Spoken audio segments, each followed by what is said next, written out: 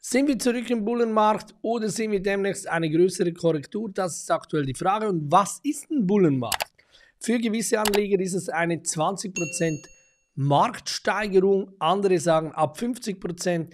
Andere, wie ich zum Beispiel, die eben mit den Konjunkturdaten schaffen und sagen, hey, aus der Weitblickperspektive, wie eben aus dem Monthly Chart, sieht das Ganze ein bisschen anders aus. Da muss man einige Candles abwarten, um sagen zu können, okay, wir sind zurück im Bullenmarkt. Aber wir gehen ab in die Chartanalyse. Heute schauen wir uns Ethereum und natürlich Bitcoin an. Bleibt also dran, lasst gerne einen Daumen da. Wir legen das ab los.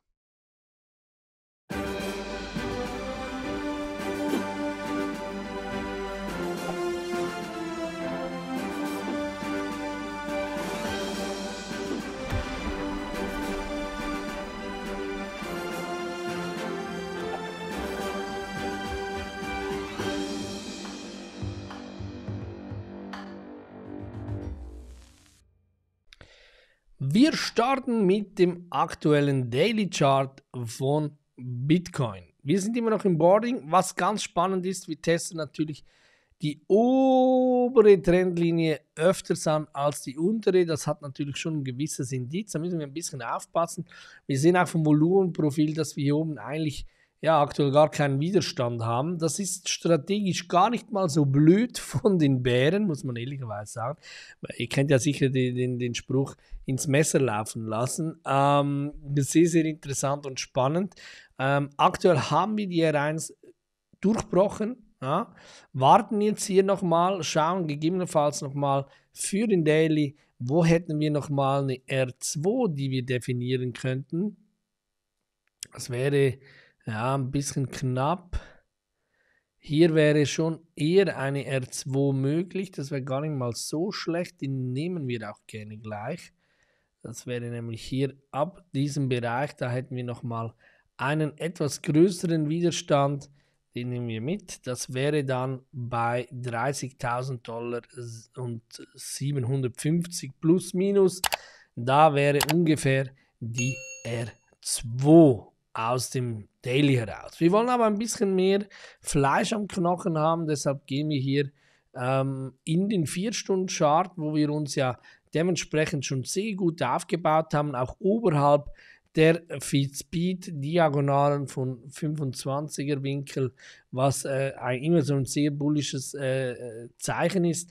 Was wir jetzt definitiv wegnehmen dürfen, ups, wir hatten ja unsere Sending Triangle angezeigt, habe euch auch gesagt, am Video von gestern, habe ich gesagt, es ist eher eine Sending als ein Rising.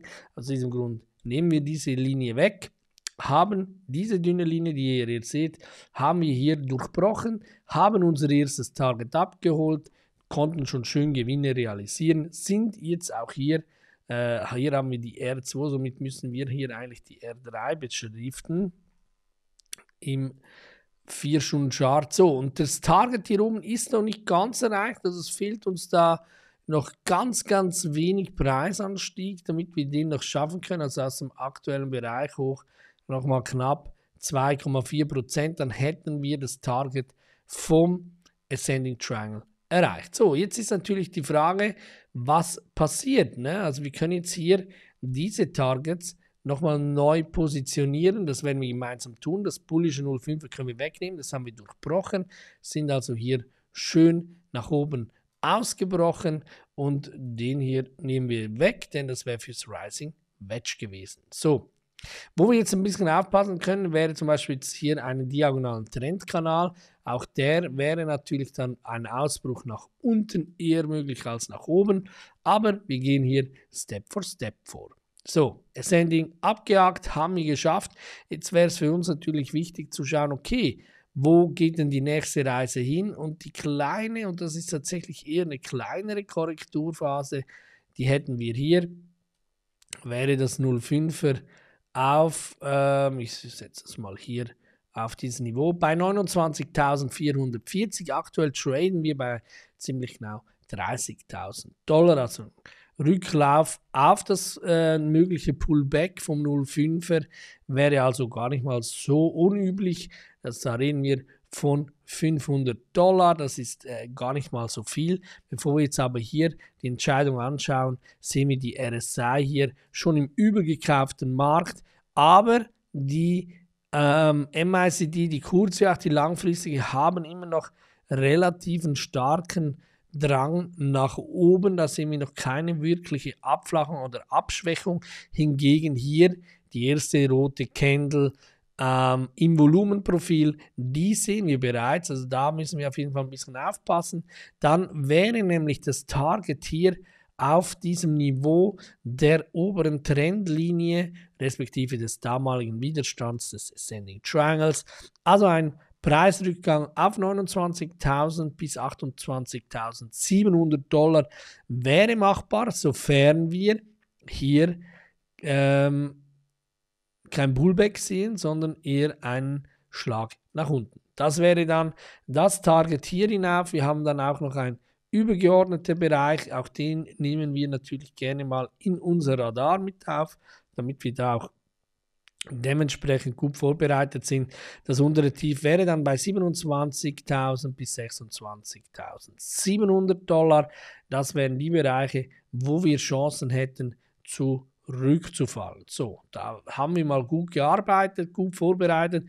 Ist natürlich auch möglich, dass wir hier jetzt eben nochmal zur oberen Trendlinie kommen. Ne? Dann hätten wir das Ascending Triangle abgearbeitet, dann hätten wir das Target wäre also dann auch gut, wäre auch plus minus auf der R2, was wir hier haben, oder besser gesagt die R3, ja, die R2 von Daily, die ist ziemlich genau hier auf unserem Target. Ne? Ist wieder interessant, die holt, haben wir aus dem Daily rausgeholt, Target vom Ascending, würde also perfekt passen hier in diese Range hinein. Bin da sehr, sehr gespannt, ob wir den natürlich dann auch dementsprechend nochmal anlaufen werden oder eben wir gehen zurück und jetzt dann hoch oder wir fahren runter und brechen ein. Das ist natürlich möglich. Bullish gesehen müsste man, ähm, hätte man aktuell noch keinen Ding. Ich brauche noch mal ein tieferes Tief, um ein bullisches Target außer trendbasierten Fibonacci einzuholen. Natürlich gibt es noch einen übergeordneten Bereich, der ist immer noch hier zwischen 35.000 und 36.000 Dollar. Den haben wir äh, schon etwas länger auf dem Radar. Äh, auch der ist natürlich noch möglich anzulaufen, da warten wir aber nochmal ab. Ansonsten kann man sagen, das dürfen wir mitnehmen, das sieht dementsprechend interessant aus äh, und haben uns dementsprechend auch gut vorbereitet. Nochmal zu sagen, wir haben keinen großen Widerstand oberhalb, kann strategisch sein von den Bären, sie zuerst mal die Bullen laufen lassen und dann zurückschlagen, wenn es niemand damit rechnet, wird also sehr interessant. Und man darf nicht vergessen, auch morgen mit den Indika äh, ähm, Inflationsdaten, die werden natürlich nochmal etwas spannender. Dann Ethereum. Aktuell traden wir bei Ethereum bei 19, äh, 1900 Dollar. 19.000 wäre schön. Ähm, ja, da haben wir aktuell unser bullisches Target hier. Ne? Also da fehlt noch etwas. Wir stehen auch hier wieder an der R1. Ne? Also die R1 testen wir jetzt hier wir hatten sie damals angetestet, runtergekommen. Jetzt sind wir hier bereits schon wieder äh, dran. Äh, das wird natürlich schwierig. Es ist das 12 Tages-Chart, ganz wichtig. Da haben wir natürlich noch ein bisschen Luft nach oben bis 2060 Dollar, um das abzuarbeiten. Sollte das nicht klappen, dann bleiben diese Targets hier unten. Ne? Also diese 1250 bis 1100 Dollar, die stehen da, sollte es keinen Bullback geben beim 05er. Das 05er ist bei 1630 Dollar. Im 4-Stunden-Chart sieht das wie folgt aus. Wir sind weiterhin im, ähm, im Rising. Und da muss ich jetzt sagen, Freunde, sehr interessant, denn viele sagen in den Medien, ja, äh, also da wird weiterhin ähm, Ethereum outperformen Bitcoin. Aber eigentlich sieht es aktuell eher umgekehrt aus, dass Bitcoin Ethereum outperformt. Bitcoin, ich habe es vorher gesagt, da äh, haben wir die obere Trendlinie öfters angetestet als die untere. Bei Ethereum ist es umgekehrt. Hier testen wir die untere Performance viel, viel mehr an. Und da stellt sich natürlich berechtigerweise die Frage, ist es richtig?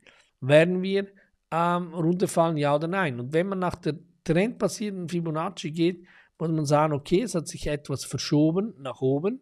Also das 05er liegt bei 1879 Dollar.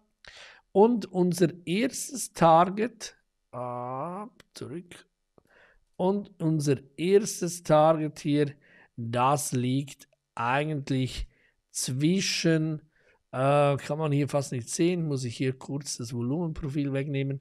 Das liegt zwischen 1855 Dollar und 1836 Dollar. Etwas tiefer dann, passend zu unserem Ausbruchsniveau vom äh, Rising Wedge wäre dann bei 1737 bis 1718 Dollar. Das wäre aktuell Ethereum. Möglichkeit steht also bestehen. Der obere Bereich hier wäre dann aktuell in diesem Bereich, also bedeutet so bei 1980 maximal 2000 Dollar. Das wäre dann für uns schon die etwas obere Grenze.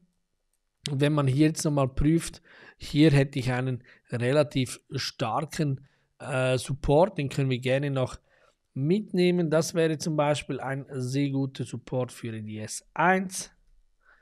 Und wir hätten hier oben aktuell ziemlich genau da, wo wir stehen, äh, müssen wir nochmals mit der Vergangenheit ein bisschen matchen, zum Schauen, ob das passt, ja oder nein. Das sehen wir hier relativ gut ja, wäre aktuell gar nicht mal äh, so schlecht. Wenn man das ein bisschen anschaut, hätten wir definitiv aktuell eigentlich so ein bisschen unsere R1 erreicht. Ne? Also aktuell sieht das hier definitiv bei Ferium bei einer R1, also lassen wir das auch gerne stehen. Ja, das bleibt also bei 1920 Dollar unser Widerstand. Und jetzt mal schauen, wie sich das Ganze weiterentwickelt. Auch hier ähnlich wie bei Bitcoin, wir sind übergekauft laut der RSI. Wir sehen hier noch keine wirkliche Abschwächung, trotz den roten Candle, die wir hier haben, die hinter dieser Newsblitz hinter dran liegt. Wir haben einen bullischen Cross gesehen. Auf der bullischen Seite von der langfristigen MACD, das bedeutet kein großartiger Schlag, maximal irgendwie vielleicht noch ein kleines Higher High in dieser Sequenz, ne? diese Sequenz, die wir hier sehen, das ist unsere Sequenz. Wenn die natürlich dann äh, nochmal ähm, auf Widerstand trifft, fallen wir nochmal runter. Wir spitzen uns weiter zu, auch das zeigt äh, einen möglichen weiteren Abverkauf an. Ja, dann haben wir noch Ribble. Ribble im Daily äh, schauen wir uns an. Wir haben ja äh, unser Target hier erreicht und abgearbeitet. Das können wir wegnehmen, brauchen wir eigentlich nicht mehr. Respektive auch hier sollte man etwas Neues einzeichnen. Das macht auf jeden Fall Sinn. Ähm, wir haben hier ein neues Higher High. Wir haben hier ein neues Lower Low. Das bedeutet, wir sollten mit dem Lower Low, es gibt jetzt eine übergeordnete und ein bisschen eine filetiertere Variante. Wir nehmen aber dieses Lower Low, gehen hoch zum Higher High, ziehen es runter auf das letzte Lower Low und dann haben wir hier oben ein bullisches 0,5er. Das wäre dann bei ziemlich genau 57 Cent. Das äh, wäre für uns natürlich dementsprechend wichtig. Und wir haben hier oben nochmals eine Box, die hat sich ein bisschen verändert. Das ist noch die übergeordnete, die nehmen wir aber mal mit. Wir nehmen diese Box passen sie an. Wir sehen, hier oben haben wir eine R1, also einen Resistance, einen Widerstand zwischen 64 Cent und 68 Cent. Ähm, wird also spannend, sollten wir hier hochkommen. Wir er erleben ein Pullback, dann fallen wir zurück auf die S1 bei 48 Cent oder eben wir durchbrechen diese und kommen dann langfristig wieder nach oben. Ich sehe gerade, ich habe aus Versehen die falsche Linie erwischt. Hier, das Pullback wäre bei ziemlich genau 60 Cent. Ne? Ziemlich genau bei 60 Cent wäre das bullische 05er. Das lassen wir so mal stehen, wie das aussieht. Wir sehen auch, dass sich hier in der kurzfristigen MACD die einen bullischen Cross androht, ähm, aber auch der auf der bullischen Seite, hier wäre eher eine Korrektur angebracht gewesen von der langfristigen. Somit fehlt uns immer noch eine Möglichkeit für ein bärisches Target. Wir sind hier in der übergekauften Zone. Somit brauche ich zwingend eine Möglichkeit für ein bärisches Target. Also auch das müssen wir mitnehmen. Somit schauen wir uns das an. Wir hatten hier ein High, gehen hier zum Low, gehen hier zum High. Dann haben wir hier das übergeordnete bärische Target, das haben wir abgearbeitet. Das bedeutet, wir haben nur das übergeordnete. Das übergeordnete wäre dann zwischen 42 und 43 Dollar Cent. Was wir noch mitnehmen können, wäre noch eine 0,5er für uns, dass wir auch hier das hier nochmal ein bisschen hinsetzen können. Hier wäre das bärische 0,5er, da sind wir aktuell ja drunter. Macht keinen Sinn, lassen wir stehen. Das macht definitiv gar keinen Sinn, das würde nur verwirren. Ähm, wir haben jetzt das übergeordnete und das untergeordnete bärische Target. Beide nehmen wir mit, lassen das so stehen und sind dementsprechend wieder top vorbereitet für diese Woche. Denkt daran, diese Woche kann volatil werden. Es wird nochmal speziell. Ich persönlich bin sehr, sehr gespannt, wie sich das Ganze entwickelt. Was ist eure Meinung? Werden die Inflationsdaten dafür sorgen, dass es keine Zins Anstiege mehr gibt, sondern die Fed wird eine Pause machen. Was ist eure Einschätzung? Schreibt es unten in die Kommentare. Würde mich brennend interessieren. Sage Tschüss aus Schweiz, bleibe gesund und bis zum nächsten Video. Tschüss zusammen.